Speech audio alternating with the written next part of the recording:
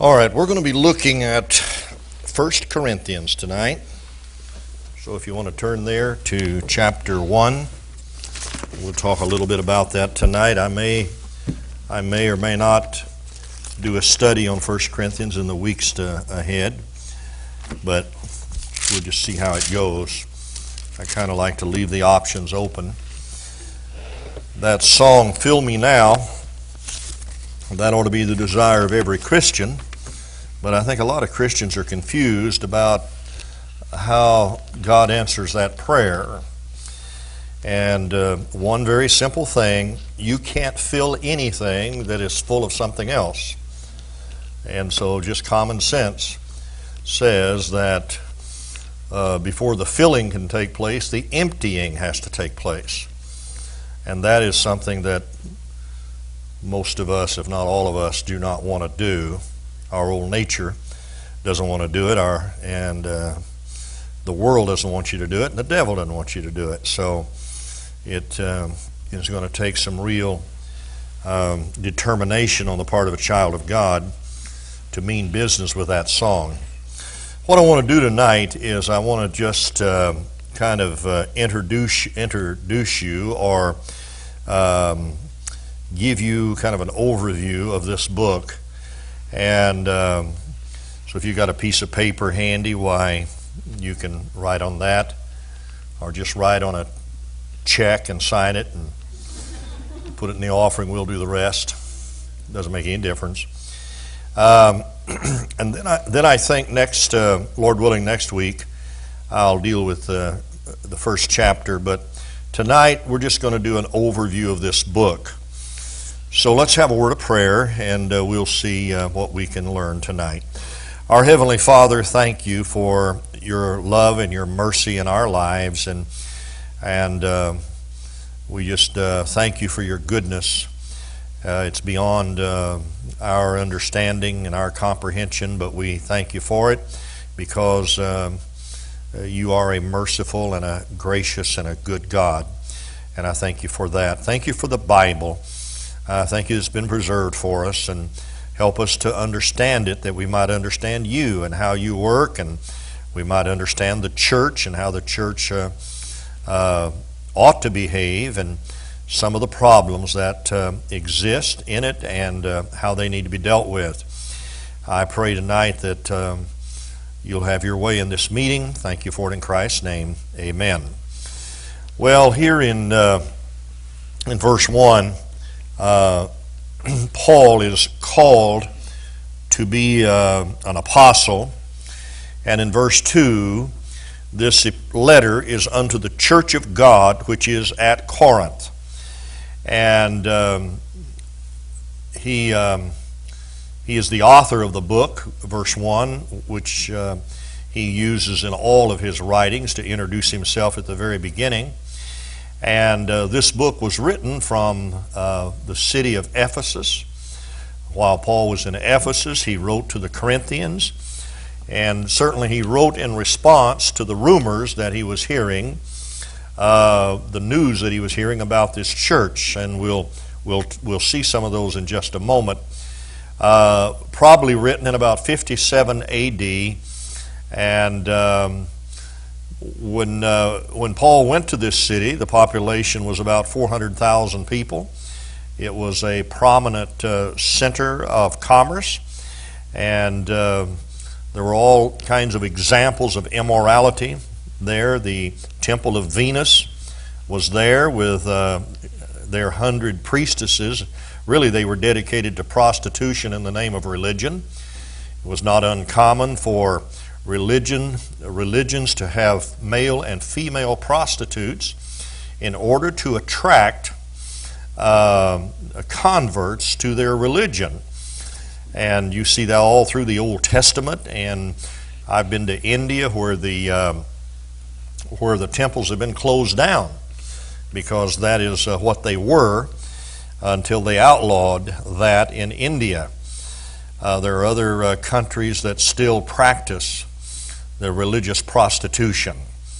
The city uh, was not too far from Athens, and of course, Athens had its own problems, uh, more with intellectualism. And uh, in this letter, uh, in this environment, uh, Paul went there and started a church. And uh, it's amazing to me that a church would exist and could exist at all in, in such a city. And Paul established this church at Corinth on his uh, second missionary journey. I want you to go to Acts 18 with me. Keep your place in 1 Corinthians. And uh, if you look at chapter, uh, chapter 18, we won't, we won't take time because the most of the uh, uh, chapter deals with that. But uh, in chapter 18, verse 1, it says, After these things, Paul departed from Athens and came to Corinth. And of course, there he found uh, some believers, and uh, they were tent makers, according to the last part of verse 3. In verse 4, it says, And he reasoned in the synagogues every Sabbath and persuaded the Jews and the Greeks. And um, goes on down to talk about people getting saved. And if you look down in verse 9, then Paul, then spake the Lord to Paul in the night by a vision, and he said, Be not afraid, but speak and hold not thy peace, for I am with thee, and no man shall set upon thee to hurt thee, for I have much people in this city. In verse 11, and Paul continued there a year and six months teaching the word of God among them. So uh, Paul started that church at Corinth. And uh, you read that 18th chapter, and you'll see the background and some of the things surrounding it. In the house of uh, Justus, uh, he stayed there as a year and six months, according to verse 7 through 11. And um, so when you read this letter, you're amazed at all of the problems this local church had. And I know folks, you know, uh, I don't know, I guess uh, whenever you've got people, you're going to have uh, some kind of problems. But um, uh, this church has more, this church at Corinth has more problems than any church I've ever heard of. And I just, uh, uh no wonder the pastor isn't mentioned. He probably took a vacation, never came back.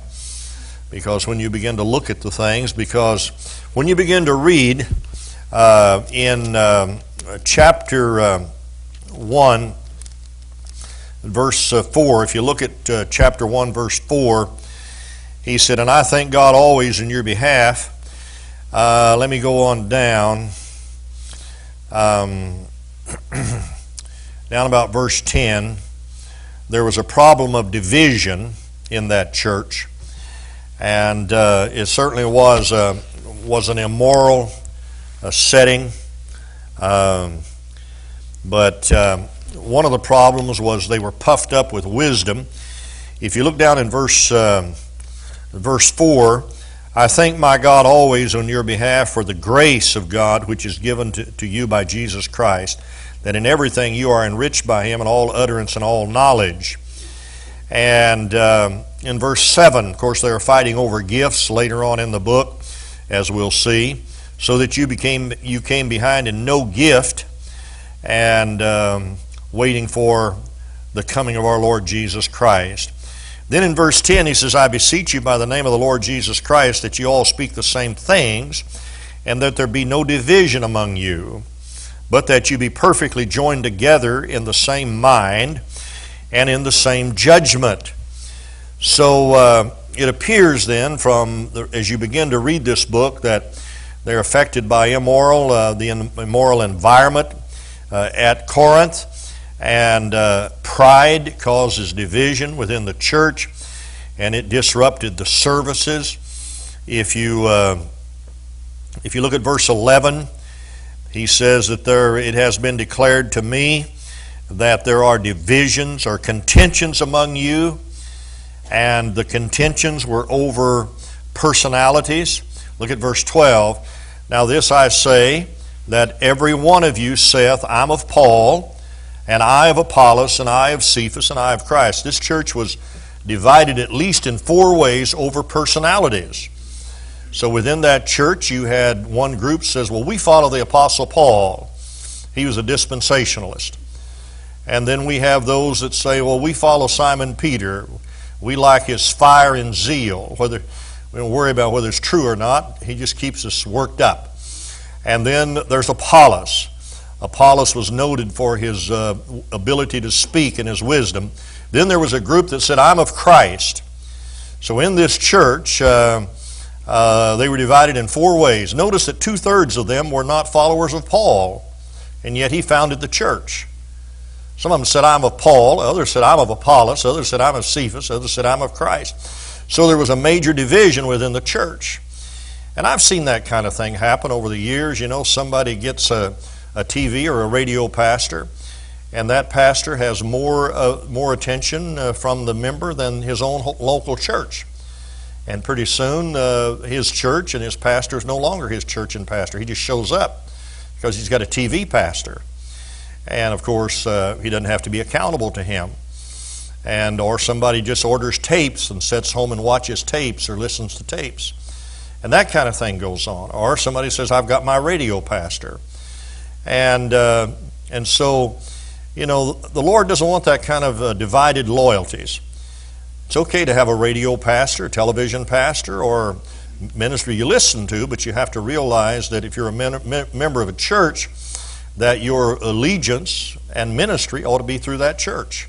Does that make sense to you? It doesn't take anything away from you, but when you do those things and you take it away from the local church, then uh, you don't make yourself responsible to, for anything or anybody. You're no longer responsible for the rest of the body of Christ. You're not responsible to use your gifts that God has given you. And, um, you know, a lot of people are sending their tithe and offering to some TV. You know, I was some guy on television yesterday. I mean, I listened to him 30 seconds and I knew he was a charlatan, you know. And, uh, you know, you, you've been around this thing as long as I have. You can almost smell them, you know. And uh, you got to watch, uh, especially, especially television preachers. Some of them are good. Some of them are good. But uh, most of them are not. And uh, you can tell by how much they ask for money. That's part of it. How many times they want you to send money to them. And when they start offering you healing and all these kind of things, if you'll send an offering, you know, I, I, I agree with what one fellow said. You know, he said, uh, um, he says, you send me five bucks, I'll send you an anointed band aid. He said, I don't know if it'll heal you or not, but I need the five bucks. At least he's honest, you know. You know, Morris Cerullo. How many of you ever heard that guy? Well, you ought to quit listening to him. You know, uh, he is uh, that guy's about as as far fruity and far out left field as you can get. You know, and uh, and you know, I mean, there's just a there's a group out there that uh, they're just not leveling with you. And uh, I put Kenneth Copeland in there and uh, Morris Cerullo, and uh, Benny Hinn and um, help me out. I don't know anything about him. Who? Schambach. Yeah, yeah, he's, a Schambach, all right. So anyway, you know, I don't, I don't you know, I just, uh, you know, I've, I've done a lot of reading and research on these guys. Uh, Oral Roberts. I mean, anybody that tells you that God told him that if I don't raise a million dollars, if you don't raise a million dollars, I'm going to kill you, you ought to let the guy die. Really? I mean, I can't even imagine. I can't imagine the audacity to go before people and say things like that. You know, I saw a 900 foot Jesus. Well, you were smoking something. Really. I mean, that's just, that's insanity. But you know, people are insane. And maybe that's the crowd they're appealing to. It must be.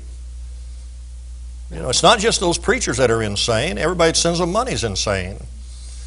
And uh, so, uh, you know, you need to uh, you need to realize that now these men here in verse 12 are good men. Uh, Paul is a good man. He's God's man. Apollos is a good man. He's a, he's a wonderful person. Peter, Cephas, why, there's nothing wrong with him. And then of Christ. There's nothing wrong with that. But what happens is, uh, you know, people begin to play each other, these leaders against each other, and, and they're appalled at this. They're opposed to you dividing the body of Christ over personalities. Uh, they care more about the church than they do, you know, uh, getting a little following. He said in verse 13, Is Christ divided? Of course he's not. Well, neither should the church be. Was Paul crucified for you? Of course not. Were you baptized in the name of Paul? Of course not. So he's saying right there, he said, I don't want you, you know, dividing the body of Christ over me or anybody else. So you see all that kind of thing. You, uh, you know, you see that. I want you to go to uh, chapter 5 with me. Chapter 5. We'll just look at verse 1 here. And we're going to come back in just a minute. I'm going to give you the, uh, the outline. I'm just doing a little preliminary stuff here. But notice it says, it, verse, uh, chapter, one, uh, chapter 5, verse 1, it is reported commonly that there's fornication among you. Well, that's what the community was saying about this local church. And fornication uh, refers to all kinds of sexual immorality. And uh, so, who knows what all was going on in this church? But I'll tell you something that was abominable. Look at the verse. And such fornication is not so much as named among the Gentiles that one should have his father's wife. Now, this probably was a stepmother. And so, this somebody in this church was. Uh, involved sexually with his father's, with his, uh, with his own stepmother. I don't know how else to interpret it, unless it's his own mother, which seems just too far out for me. And look at the church's attitude in verse 2. And you are puffed up and have not rather mourned that he which hath done such a deed might be taken away from you. So you begin to see the temperature of this church. I mean, they were not only divided over everybody, divisions and factions throughout the whole assembly, but now they got immoral, immorality going, and, and, and everybody's just winking at it. They're not dealing with it. Now, I've seen a few things like that. Not, not this kind of a sin, but I've seen situations in this church to a, a minor degree, a lesser degree, but in other churches that where certain sins have been dealt with, the people, some of the people, get mad at the pastor and quit the church. Um, buddy of mine down in um, in um, Illinois, I've preached for him many times. Uh, he had a, a, man in his church that was um, that was uh, a pedophile. Nobody knew it, but the police knew it and they were watching him. And they caught him in the park uh, propositioning a young boy, and they arrested him. And, uh, and uh, when the pastor, of course, said, This guy's got to be voted out of our church and all that kind of stuff, he lost about a third of his members. Why, they ought to have applauded him and hugged his neck. But, you know, people are self righteous. You know, I had a guy in this church many years ago. Uh, in fact, when this church was very early, young, I had a situation where a young girl told her aunt that her stepdad was molesting her. And uh, of course, the mother, when she told the mother, and the mother called the sheriff and got the sheriff involved, and then they called me.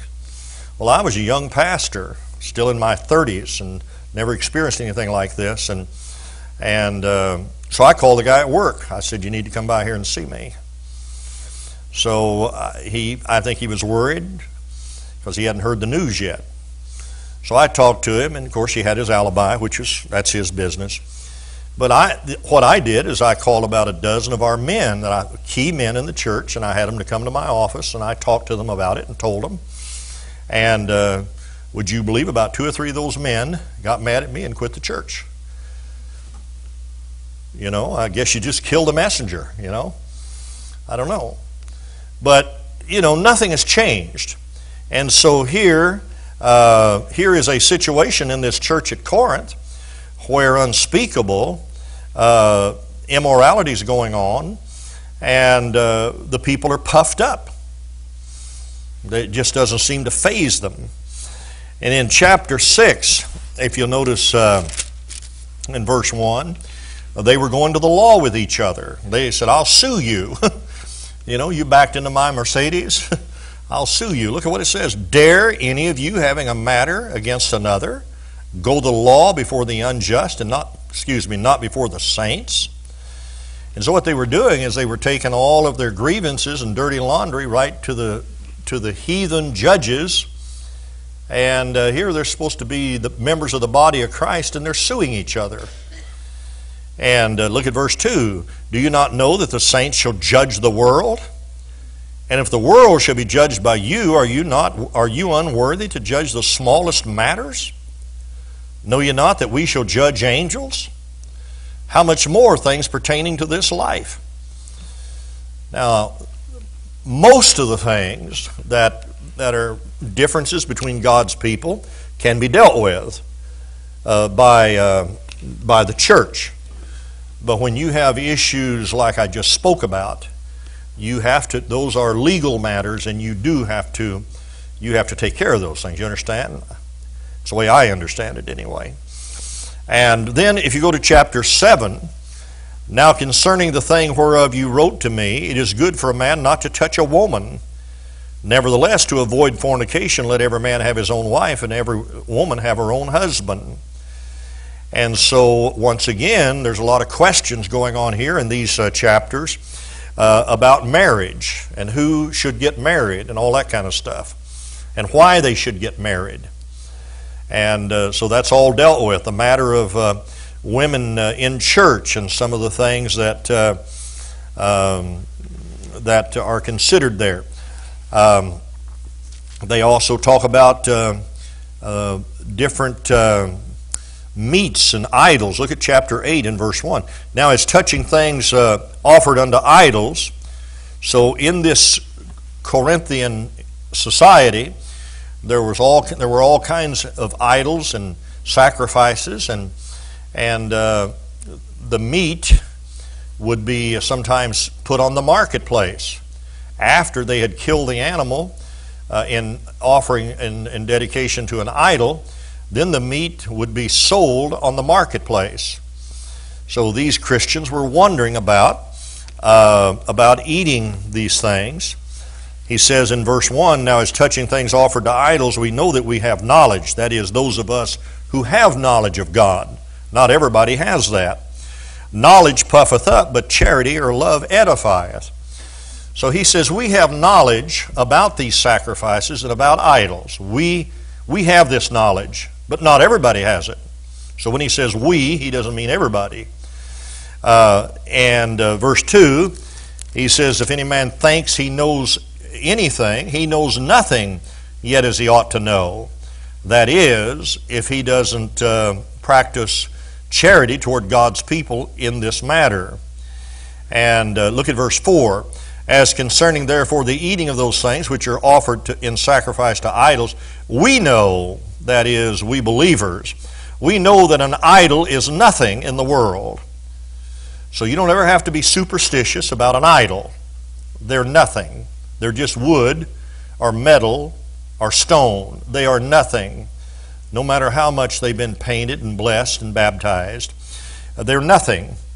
He says, uh, We know, again in verse 4, in the middle of it, that an idol is nothing in the world, and that there is none other God but one. Now we know that, but not everybody knows that. In fact, not every believer has got that clear in his mind. Not only that, you get somebody saved out of society of worshiping idols, that stays with them a long time. I've had people come into this church and they were saved, and they said, when we came in, the first thing, you know, I wanted to kneel at the end of the, of the pew and make the sign of the cross. I've had folks to tell me that. And, uh, you know, when you've had it in your life, all your life, from an infant, that, and to reverence and fear idols and all these things, just getting saved doesn't wipe that out of your brain. It takes time. So he says, We know that an idol is nothing, that is, those of, with some maturity and that there is none other God but one. Now look at verse 5. For though there be that are called gods, such as you have in India and Hinduism and all these others, uh, whether in heaven or earth, uh, as there be gods many, that's false gods, and lords many.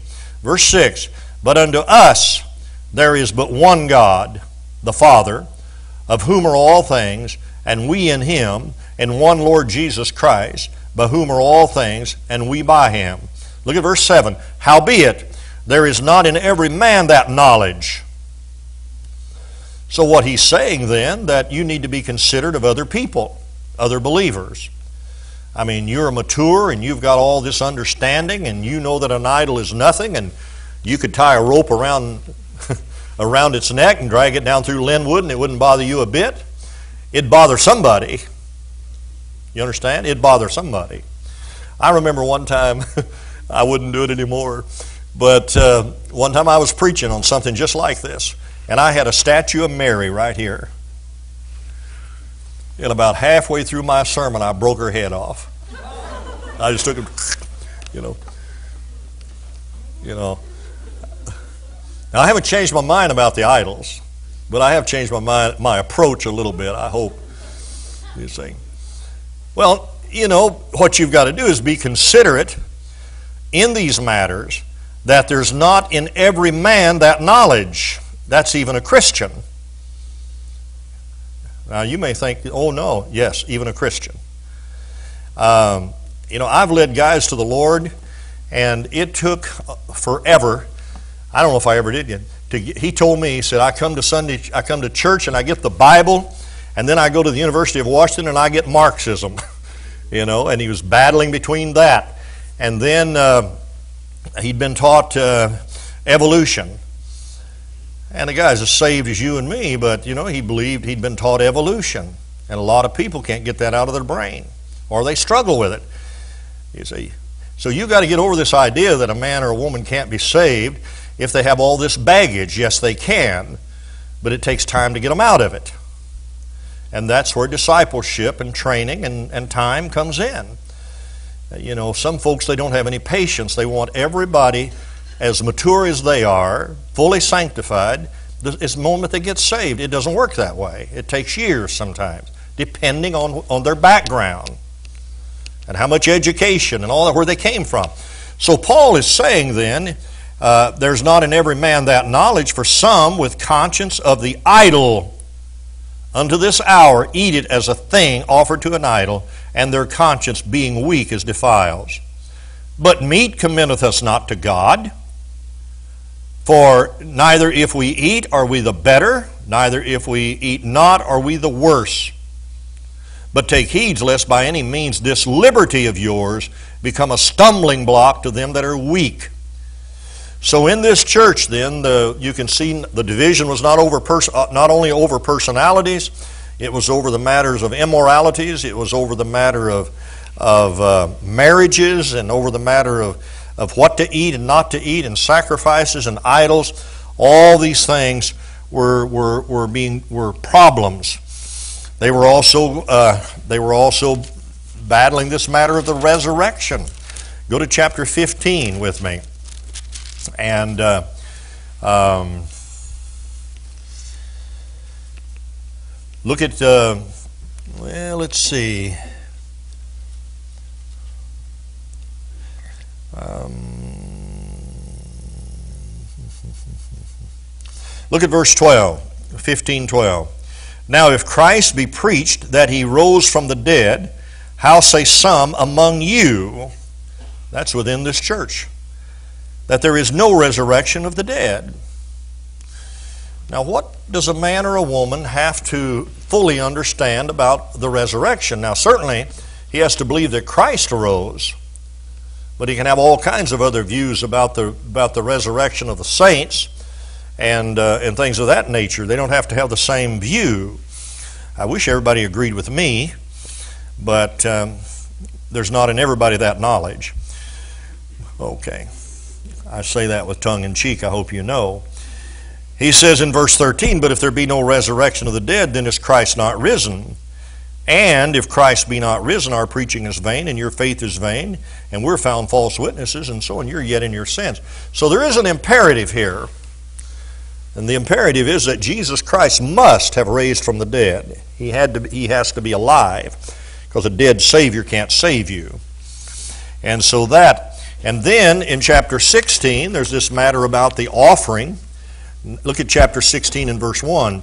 Now concerning the collection for the saints, as I have given order to the churches of Galatia, even so do you. And of course, uh, Paul is, is uh, ultimately criticized even because of this. So, the purpose of the writing then is that bad news had arrived uh, concerning the Corinthian church that came to Paul while he was at Ephesus.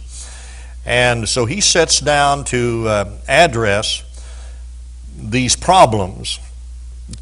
And so the reason, the purpose for the writing is to correct the sinful practices and refute false doctrine. So if you're writing anything down that's as a purpose, that's what you'd want to write down to correct uh, sinful practices and refute false doctrines.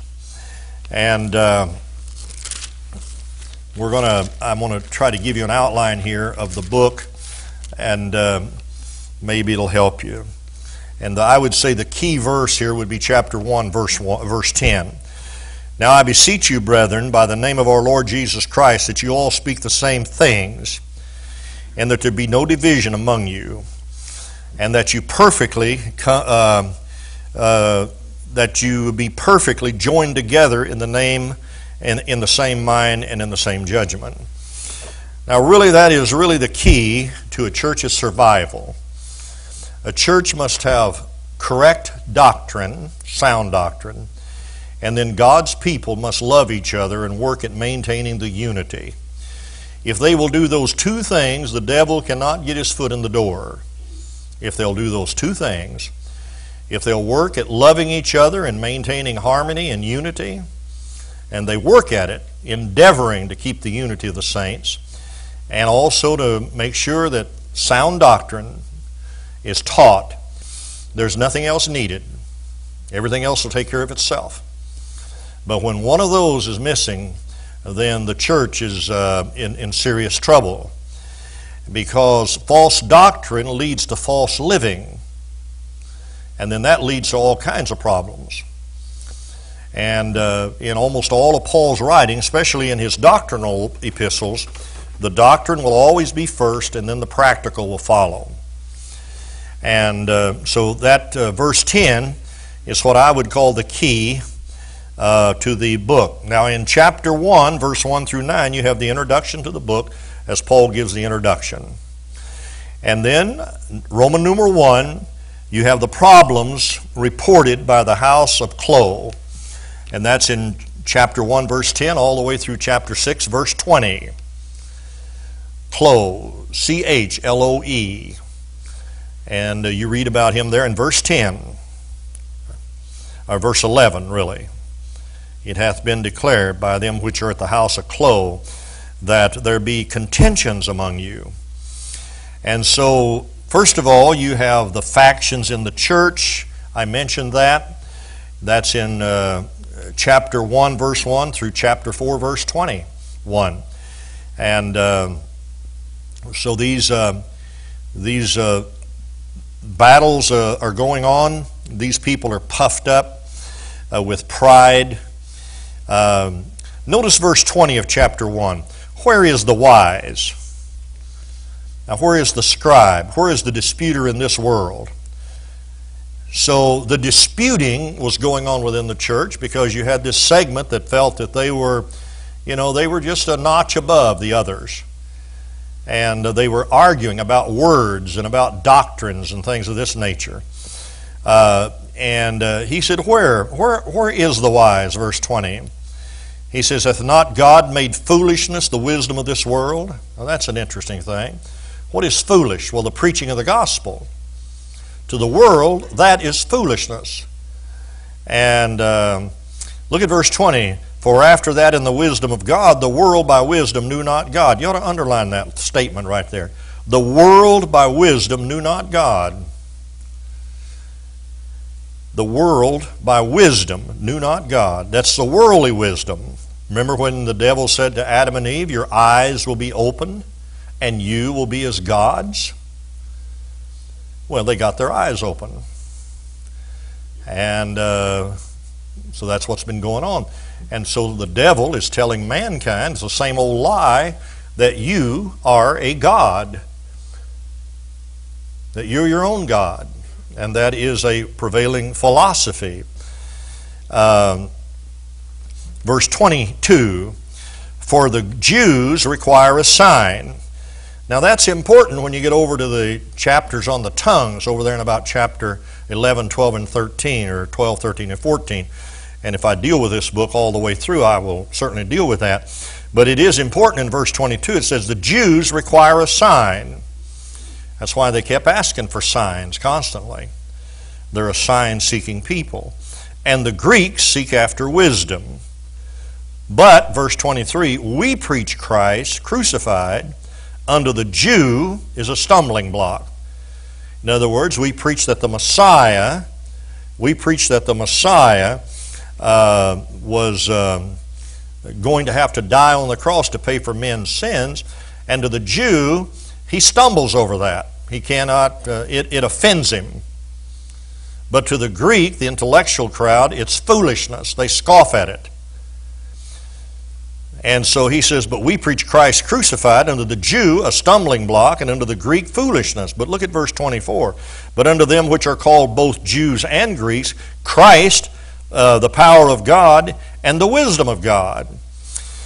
So when a believer understands all that he has in Christ, he realizes that Jesus Christ is his power and his wisdom. Christ is our wisdom, and he's our power. And that's why the Bible says to set your affection on things above, where Christ sits at the right hand of God. Christ is the wisdom of God. And um, look at verse 25 because the foolishness of God is wiser than men and the weakness of God is stronger than men. I was uh, talking to somebody the other night, not here at the church, but somewhere else, and he was talking about uh, a, a, buddy of his, or not a buddy, but a, but a, but a friend, uh, whatever. He was talking about how just how thick this guy is. He said, I can't get through to him. The guy dumber than a rock. And I said, Well, I said, Do you think it, there's do you think the gap between you and him is as great as the gap between God and you? He said, No, I don't think so. and so when you begin to compare um, yourself, your wisdom with God, it's like foolishness. God's foolishness is smarter than you or me, but there is no foolishness with God. But you understand how Paul is using the words here because, verse 25, because the foolishness of God is wiser than men, and the weakness of God is stronger than men. Well, Christ died in weakness, but he arose triumphant. And uh, God hath chosen the foolish things. Look at verse 26. This, is quite a, this ought to get their attention, kind of a slap upside the head. He says, For you see your calling, brethren, how that not many wise men after the flesh, not many mighty, and not many noble are called. He says, Look around in your church and see how many, you know, uh, intelligent, uh, brilliant people you've got.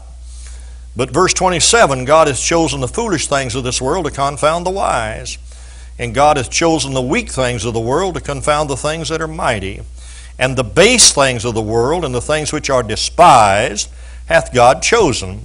Yea, and the things which are not, to bring to naught the things that are. Why? Verse 20, 29. That no flesh would glory in his presence. You see.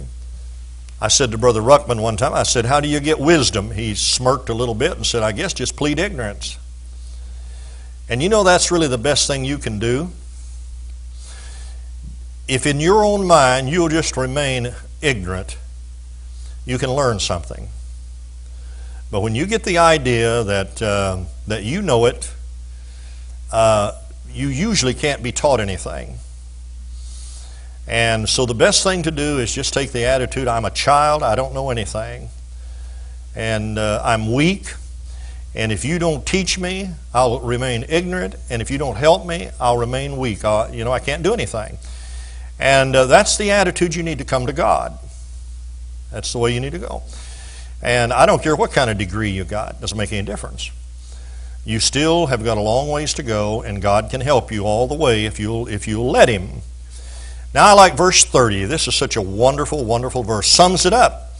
But of Him are you in Christ Jesus, who of God is made unto us. In other words, those of you that are in Christ Jesus, here's what God has made Him for you. He has made our wisdom, our righteousness, our sanctification, and our redemption. He's everything. He's everything. And He's all you need. That song we sang, All I Need, All I Need, Christ is all I need.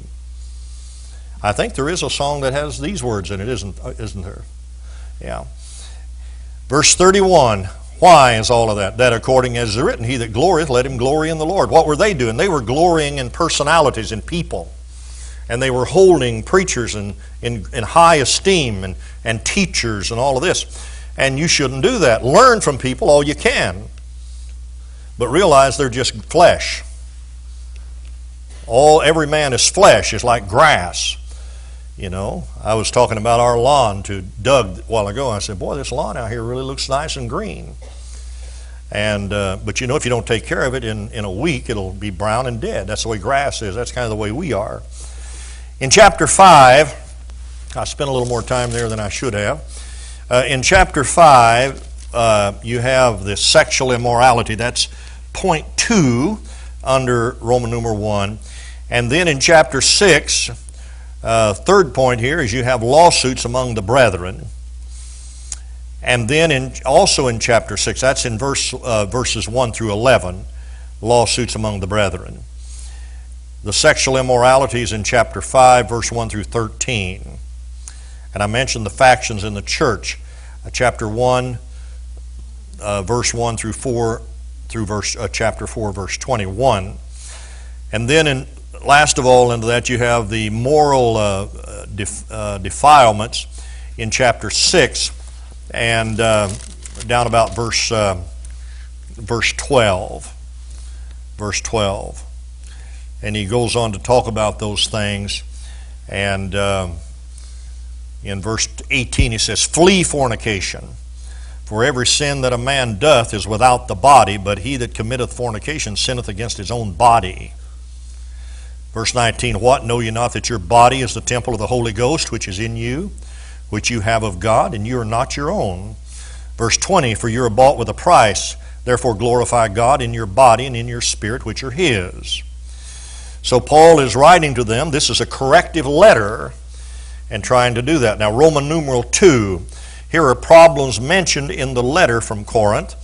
Um, and um, in, uh, that's through ch- chapter 7 1 through 16 9.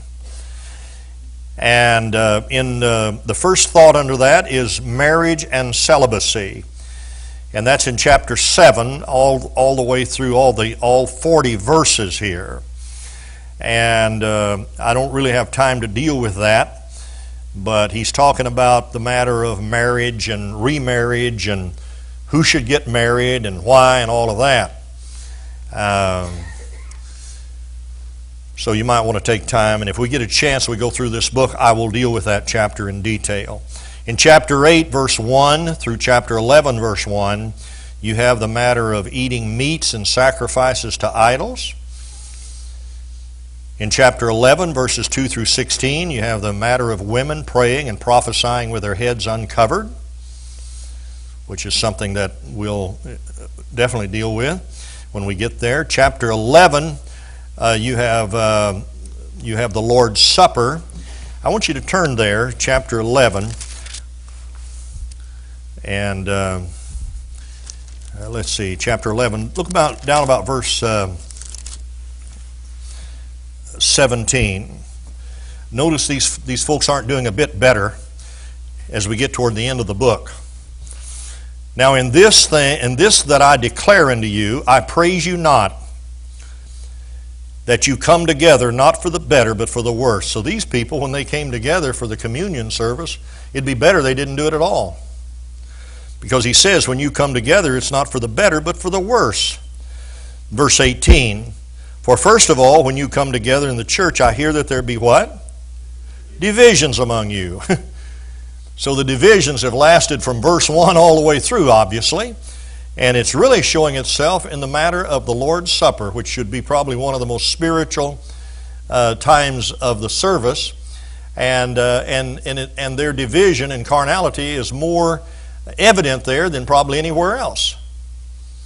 And it's, uh, it's, it's, it's evident, so that's what he talks about in chapter 11, 17 through 34.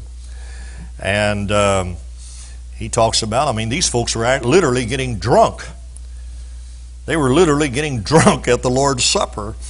That's kind of wild, isn't it? Look at verse 22. What? Have you not houses to eat and drink in, or despise you the church of God and shame them which have not? And um, so he goes on and he talks about that and uh, how they should take care of themselves. Okay? Look at verse 34. And if a man is hungry, let him eat at home, that you may not come together unto condemnation. And the rest will I set in order when we come. And then next, you, it talks about spiritual gifts in chapter 12, all the way through chapter 14, verse 40, this whole section. Now, not by any stretch of the imagination does this church all of a sudden get spiritual in this portion of this book. I mean, they're just as messed up on the spiritual gifts as they are on everything else. You don't all of a sudden have a real spiritual section here, as some people think. This is not a doctrinal matter, this is a corrective letter. So we'll talk about that. In chapter 15, verse 1 through 58, uh, you deal with the matter of the resurrection of the dead. And then again in chapter 16, verses 1 through 4, you have the collection of the saints. And then in verses, uh, same chapter, verse 5 through 24, Paul gives his concluding remarks and instruction and benediction. All right, let me just ask you a couple of questions, see if you were listening. Um, where do we read of the establishing of this church? What? Acts 18, that's right. Okay. What two people did Paul first? Well, I didn't deal with that. Uh, approximately how long did Paul stay at Corinth? Quickly. A year and six months, a year and a half, that's right. Okay. Uh, what kind of work did they do? They were tent makers, that's right. Okay. From where did Paul write the letter? That's exactly right. Okay. What's the approximate date? That's exactly right. You got that one right. And um, what two uh, things existed in Corinth that uh, appeared to have an adverse effect on the church? Two things. Give me a word. What? No. Okay, immorality and intellectualism. Okay, I don't remember if I mentioned those two together like that, but but that is uh, that was uh, what was going on: intellectualism and immorality. Okay, and la- and let's see, what is the purpose of this epistle? That's right. All right. And what did we say is the key verse, or where is the theme of this epistle stated? One what? 110. I thought I heard somebody say 1 8. I was going to say F for you. All right. Okay. Uh, I think what we'll do, Lord willing, we'll uh, we may just uh, you know uh, start in with this book and deal with with it, and uh, we'll just leave the ends open so that you know if I get uh, something I want to really scold you about, I can I can break off and do that. Okay? All right. let's stand together and we'll be dismissed in a word of prayer.